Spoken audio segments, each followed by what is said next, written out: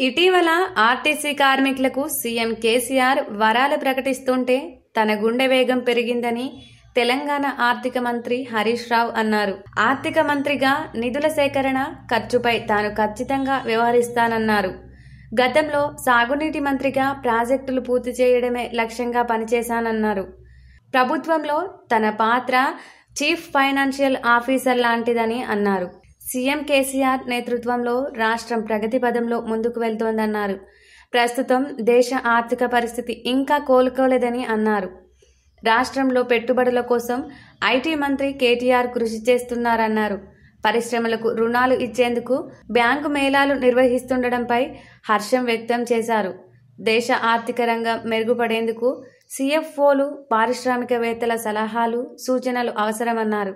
RTC అభివృద్ధికి CM KCR అన్ని విధాలుగా చర్యలు తీసుకుంటుందని తెలంగాణ ఆర్థిక మంత్రి హరీష్ రావు అన్నారు.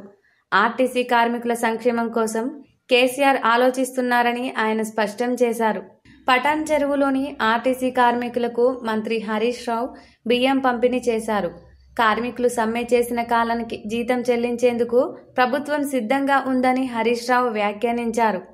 ఆర్టీసీ మనందరి సంస్థ అని దీనిని బలోపేతం చేసుకోవాలని కూడా సూచించారు. సంస్థలో ఆక్యుపెన్సీ రేషియో పెంచుకోవాలని అన్నారు. ఆర్టీసీలో టికెట్ ధర పెంచుకున్నామని హైదరాబాద్లోనే యాభై నాలుగు లక్షల ఆదాయం పెరిగిందని హరీష్ రావు అన్నారు. అక్రమ వాహనాలను ప్రభుత్వం నియంత్రిస్తుందని హరీష్ రావు స్పష్టం చేశారు.